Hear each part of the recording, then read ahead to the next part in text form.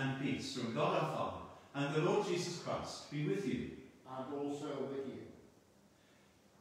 This is a live broadcast of the Eucharist from St Cuthbert's Church in Shotley Bridge. I'm Martin Jackson, the vicar of the parish of Benfieldside, St Cuthbert's in Shotley Bridge, and priest in charge of St John the Evangelist, Castleside. And I'm joined here by our curate and deacon, Phil Carter.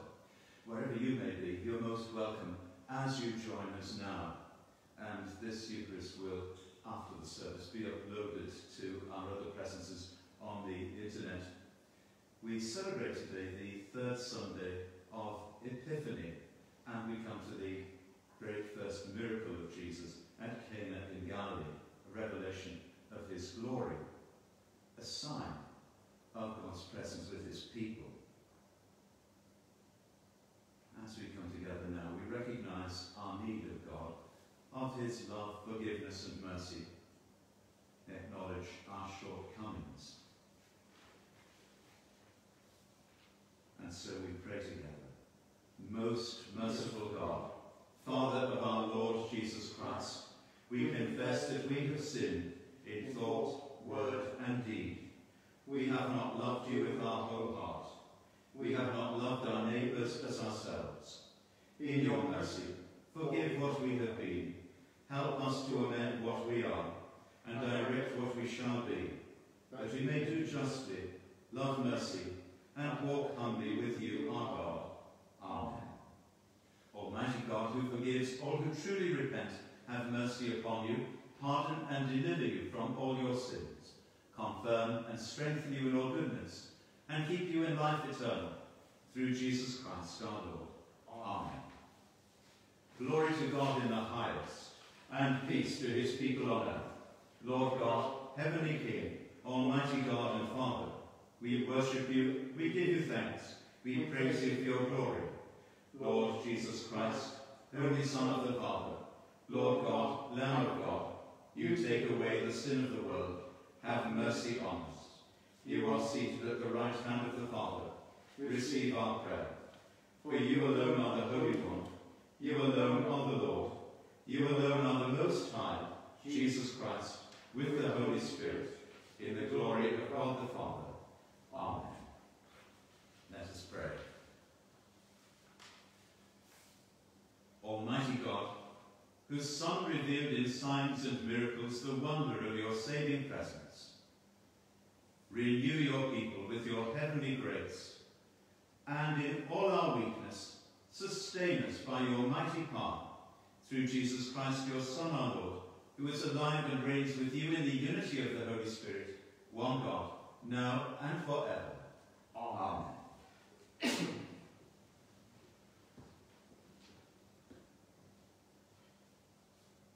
A reading from the book of Genesis, chapter 14. After Abraham returned from the de defeat at Chedorlaomer, and the kings who were with him, the king of Sodom went out to meet him at the valley of Shaveh, that is, the valley of the kings. The king Melchizedek of Salem brought out bread and wine. He was a priest of God Most High. He blessed him and said, Blessed be Abraham by God Most High, maker of heaven and earth. And blessed be God Most High, who has delivered your enemies into your hand. And Abraham gave him one-tenth of everything. This is the word of the Lord. Thanks be to God.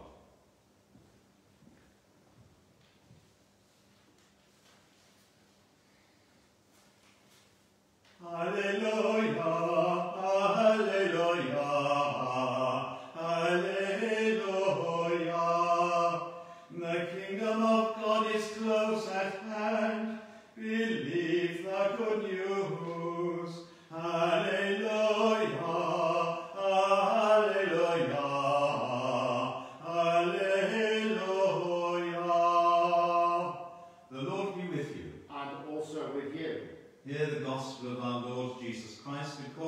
John. Glory, to you, O Lord. There was a wedding in Cana of Galilee, and the mother of Jesus was there. Jesus and his disciples had also been invited to the wedding. When the wine gave out, the mother of Jesus said to him, They have no wine. And Jesus said to her, Woman, what concern is that to you and to me? My hour has not yet come. His mother said to the servants, Do whatever he tells you. Now standing there were six stone water jars for the Jewish rites of purification, each holding twenty or thirty gallons. Jesus said to them, Fill the jars with water. And they filled them up to the brim. He said to them, Now draw some out and take it to the chief steward. So they took it.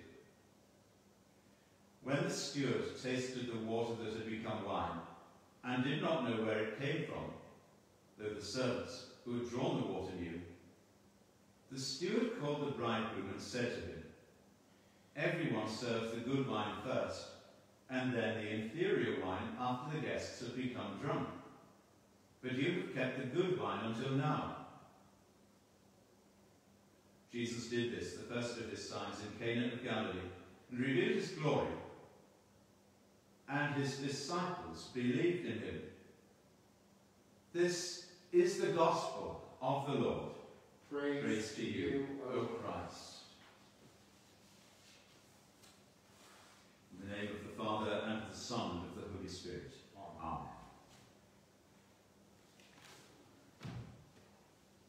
If only we could have weddings like that at this time.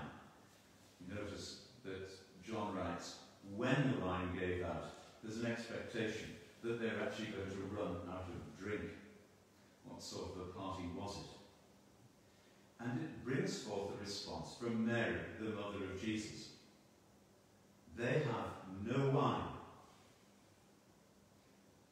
Those four words are, in the first place, a statement.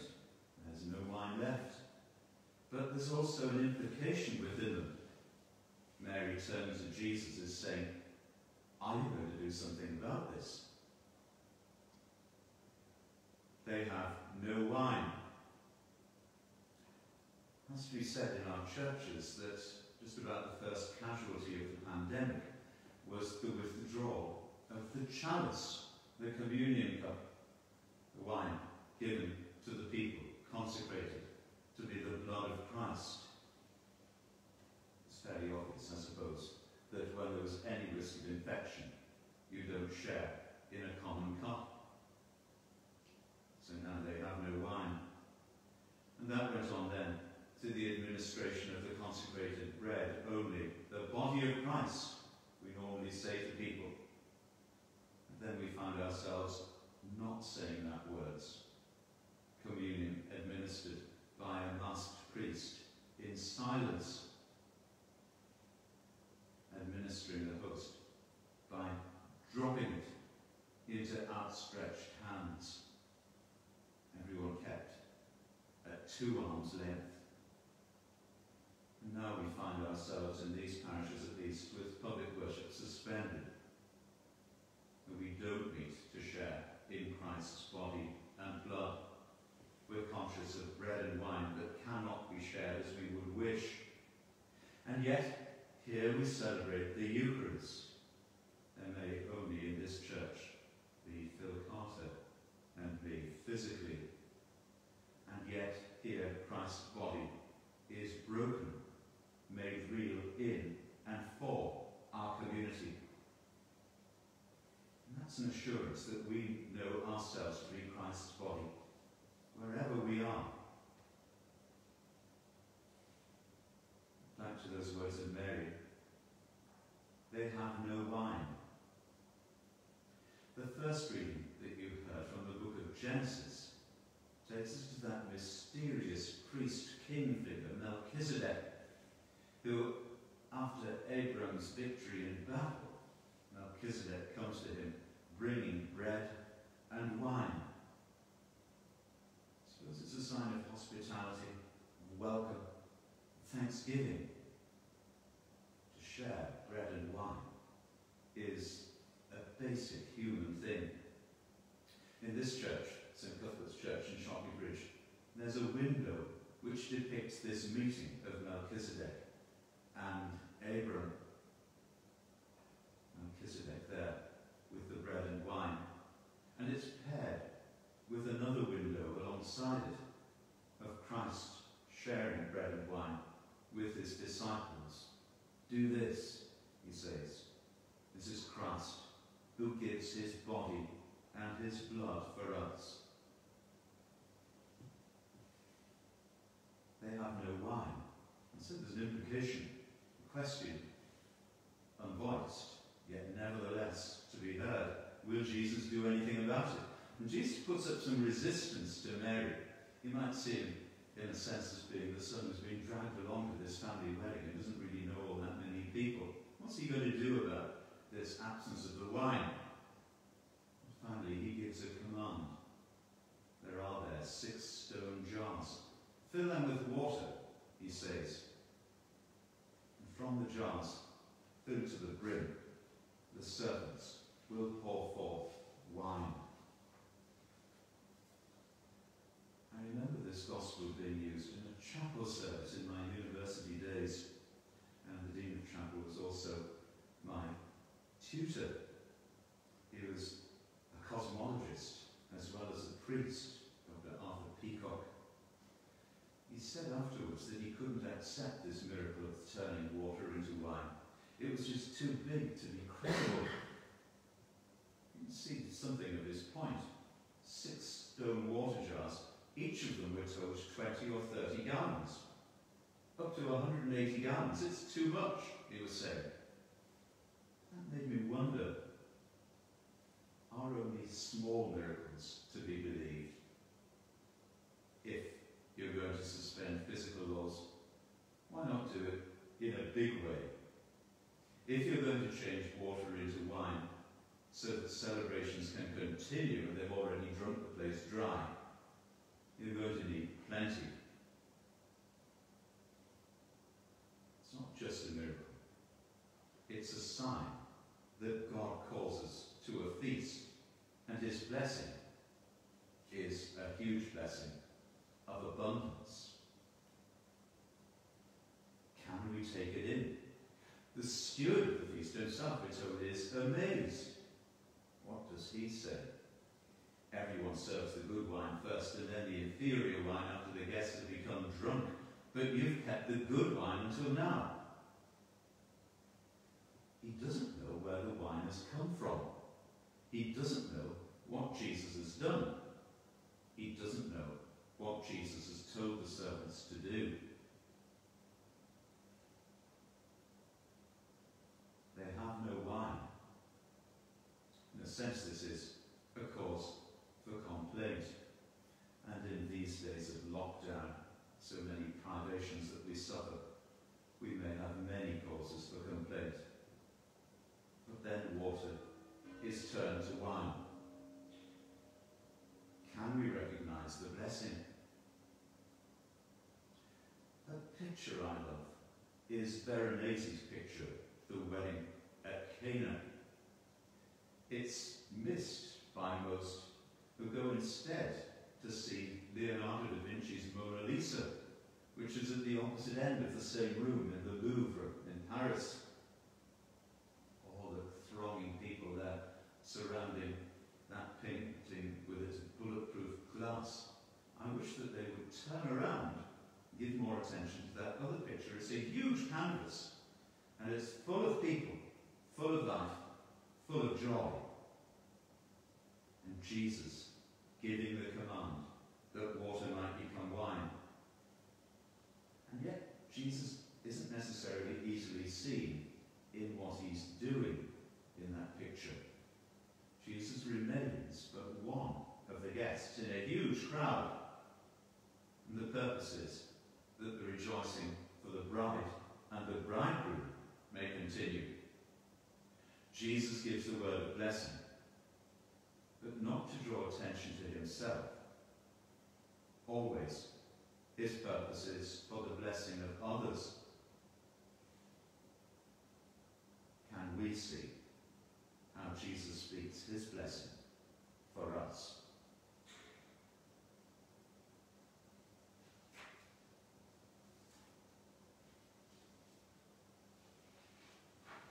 We make the profession of our faith in the words of the Creed. We believe in one God, the Father, the Almighty, maker of heaven and earth, of all that is, seen and unseen. We believe in one Lord, Jesus Christ, the only Son of God, eternally begotten of the Father, God from God, light from light, true God from true God, begotten not made, of one being with the Father. Through him all things were made. For us and for our salvation he came down from heaven, was incarnate from the Holy Spirit and the Virgin Mary, and was made man. For our sake he was crucified under Pontius Pilate. He suffered death and was buried. On the third day he rose again in accordance with the Scriptures. He ascended into heaven and is seated at the right hand of the Father. He will come again in glory to judge the living and the dead, and his kingdom will have no end. We believe in the Holy Spirit, the Lord, the giver of life, who proceeds from the Father and the Son, who with the Father and the Son is worshipped and glorified, who has spoken through the prophets. We believe in one holy, Catholic and Apostolic Church. We acknowledge one baptism for the forgiveness of sins. We look for the resurrection of the dead and the life of the world to come. Amen. Our intercession this morning, though it's led by Phil, is written by Rosie Juneman, member of the congregation here in St. Cuthbert's Church. So let us pray for the church and for the world, and let us thank God for his goodness.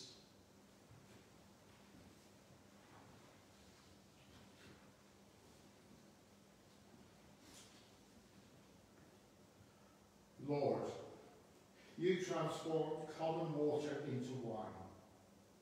May our common lives be so transformed by you that in us your glory may be revealed. Lord, in your mercy, Hear our prayer. Lord, we pray that your glory may be revealed in your church, that the light of your gospel may shine in dark. We pray for the mission of the church, for Christians bearing witness to the gospel throughout the world, through preaching and teaching, by loving and courageous actions.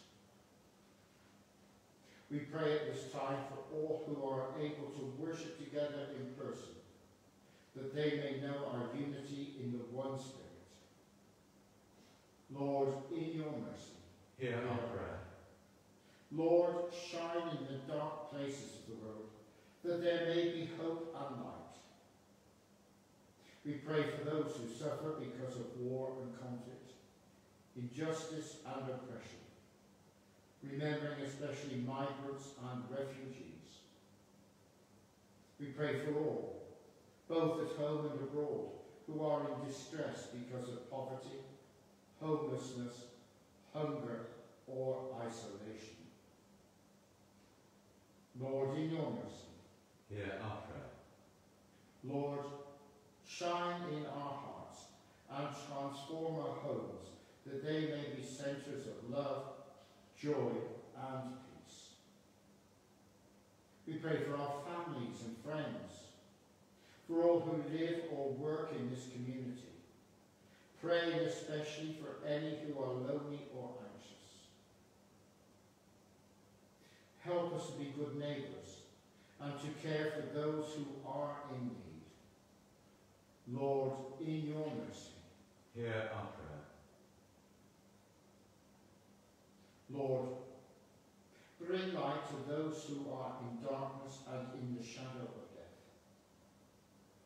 We pray for all who are suffering sickness or bereavement because of the pandemic. We pray for those who work in the health and care services, for strength to continue their work at this challenging time.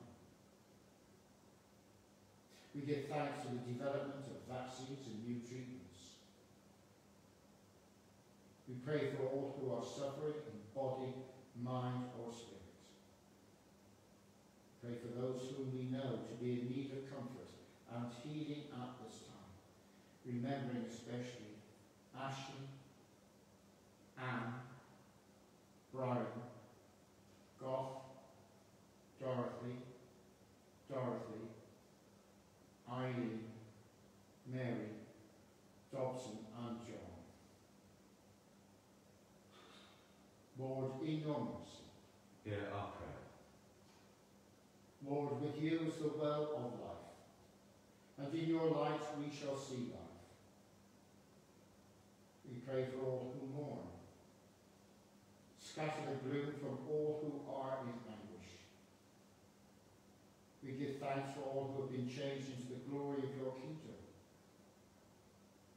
We pray for our loved ones who are departed from us.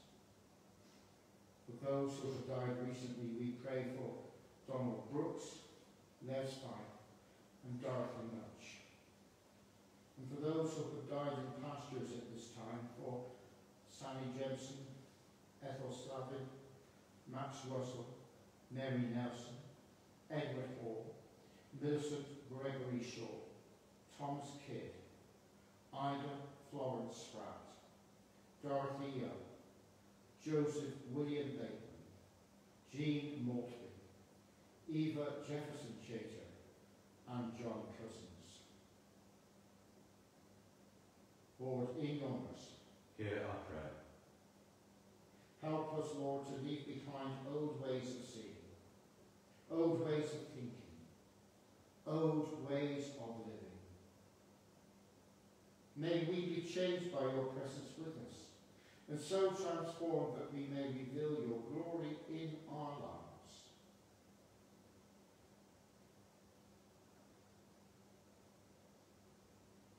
Merciful Father, Accept these prayers for the sake of your Son, our Saviour, Jesus Christ. Amen.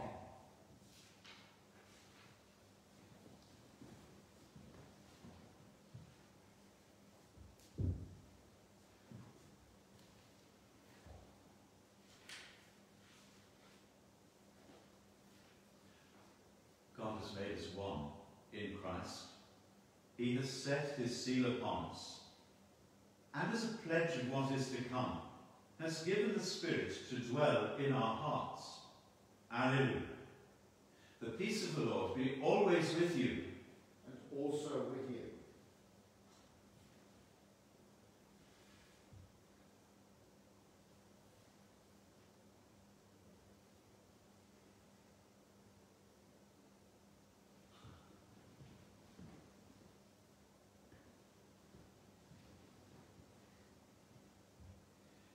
Blessed are you, Lord God of all creation. Through your goodness we have this bread to offer, which earth has given and human hands have made. It will become for us the bread of life. Blessed be God forever.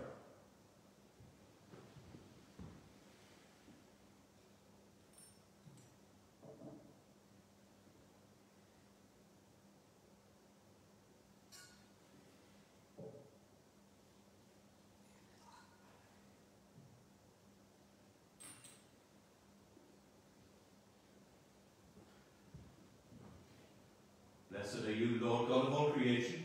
Through your goodness we have this wine to offer, fruit of the vine and work of human hands. It will become our spiritual drink. Blessed be God forever.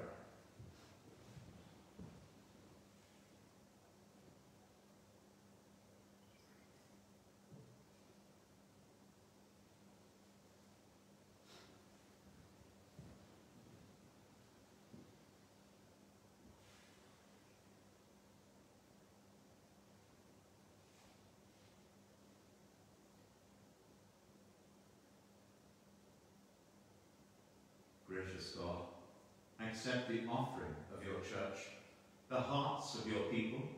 Join in praise and thanksgiving. In the name of Jesus Christ, our Lord. Amen. Amen. The Lord be with you. And also with you. Lift up your hearts. We lift them to the Lord. Let us give thanks to the Lord our God. It is right to give thanks and praise. All honour and praise be yours always and everywhere, mighty Creator, ever-living God, through Jesus Christ, your only Son, our Lord. For at this time we celebrate your glory made present in our midst. In the coming of the Magi, the King of all the world was revealed to the nations. In the waters of baptism, Jesus was revealed as the Christ, the Saviour sent to redeem us. In the water made wine, the new creation was revealed at the wedding feast. Poverty was turned to riches, sorrow into joy. Therefore, with all the angels of heaven, we lift our voices to proclaim the glory of your name and sing our joyful hymn of praise. Holy, holy, holy Lord, God of power and might, heaven and earth are full of your glory. Hosanna in the highest. Blessed is he who comes in the name of the Lord. Hosanna in the highest.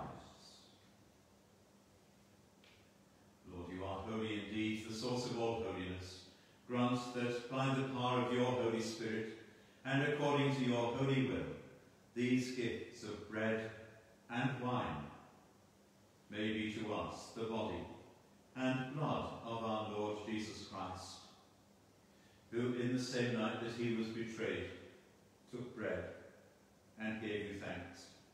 He broke it and gave it to his disciples, saying, Take, eat. This is my body, which is given for you. Do this in remembrance of me.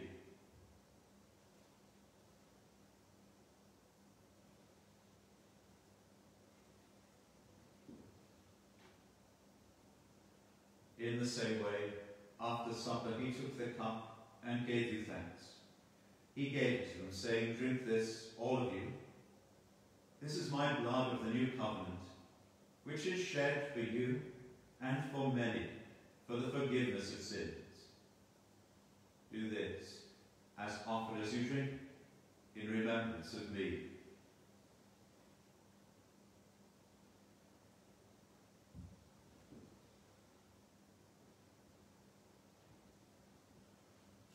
Great is the mystery of faith.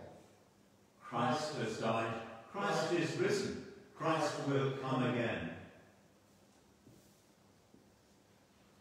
And so, Father, calling to mind his death on the cross, his perfect sacrifice made once for the sins of the whole world, rejoicing in his mighty resurrection and glorious ascension, and looking for his coming in glory, we celebrate this memorial of our redemption.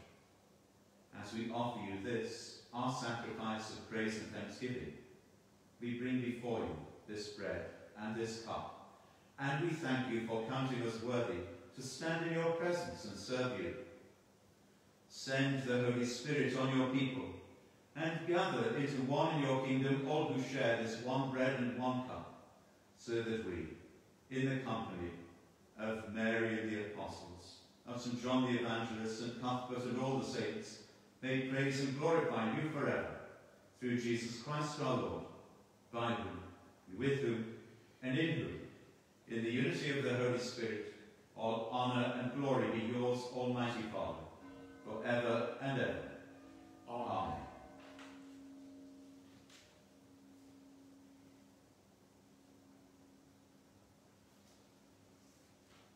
Let us pray with confidence to the Father in the words our Saviour gave us. Our Father, who art in heaven, hallowed be thy name. Thy kingdom come, thy will be done, on earth as it is in heaven. Give us this day our daily bread, and forgive us our trespasses, as we forgive those who trespass against us. And lead us not into temptation, but deliver us from evil. For thine is the kingdom, the power, and the glory, for ever and ever. Amen. We break this bread to share in the body of Christ. Though we are many, we are one body, because we all share in one bread. Lamb of God, you take away the sin of the world, have mercy on us. Lamb of God, you take away the sin of the world, have mercy on us. Lamb of God, you take away the sin of the world, grant us peace.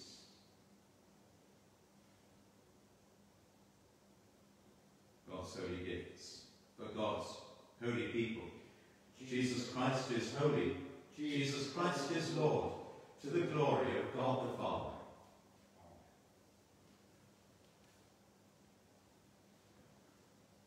Holy gifts, but we're conscious that we can't share them all together at this time. Yes, it's my prayer that you, as you look from afar, from your own homes, may know that God's blessing is truly for you, and that together we are the members of his Son, the body of Christ.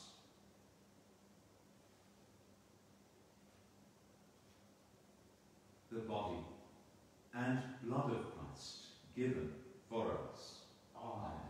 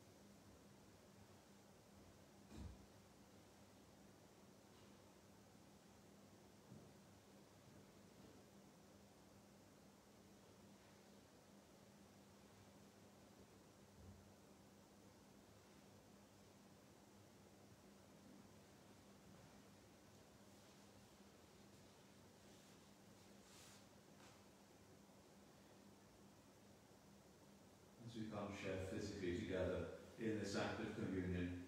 Nevertheless, we may come together spiritually. So I invite you to make an act of spiritual communion, words which are printed in our order of service and also on our weekly notice sheet. Soul of Christ, sanctify me. Body of Christ, save me. Blood of Christ, invigorate me. Water from the side of Christ, wash me. Passion of Christ, strengthen me. O good Jesus, hear me. Within your wounds, hide me. Let me never be separated from you. From the power of darkness, defend me. In the hour of my death, call me. And bid me come to you, that with your saints I may praise you forever and ever.